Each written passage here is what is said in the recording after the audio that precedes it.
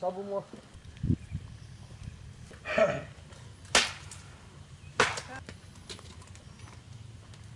A sad...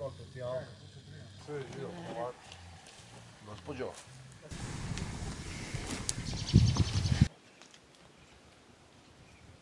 Kaj, čiji si ti? Ja sam ti dok sam bio mlad, sve sam jebao i kro, koze, i krave i kokoši, sad te gledim ovak, te nisi možda moj.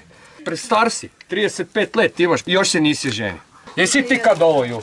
Zato tak zglediš kaj to ješ. Gotovo je sad. Bolje da ti se tatavko prije zmitao nek tebe pravo.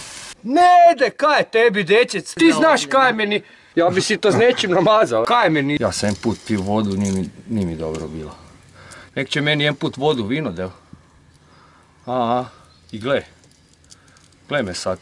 Da ti, ja, te, te ja. Ti kad toču kaj? Tebi je sera, a tebi je v glavi ravno. Ti delaš svaki dan. Da je zemlja ravna, kako bi se poturali s breg? evo, Joj, ke to ravno, ke to ravno, ke to ravno. Ovak, ovak ili ovako pičku materinu? Ja, Čekaj, to- to da je to ravno? Ravno. Kako tebe ravni jebal. Ajde, za, zapri oči i hodi, ajde, jebal. zapri oči i hodi će je ravno. Aha, da, kaj. Zaki opadaš kad ideš s Bertije će je ravno. Ni dole, ni na žabari ni ravno. Ne, Ni na celina mi ni ravno jebate. ne, ima grvih tam po. Po cesti. Polju. Ja sam jamu vidio, te ravno. Ovi zgrada kad dođu spod vrha, sim šumu niš ne znaju. Jedu s traktorom.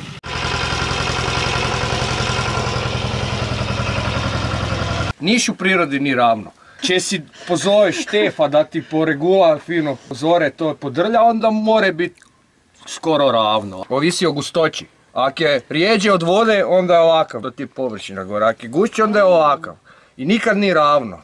I kaj on taj veli je ravno, zaki onda ovak i umi kad umi kurac. Kaj ne umi ovak? Ali i dalje mu voda otiče. Da je to ravno, moj deda ne bi kičmu imao zjebanu od trsja.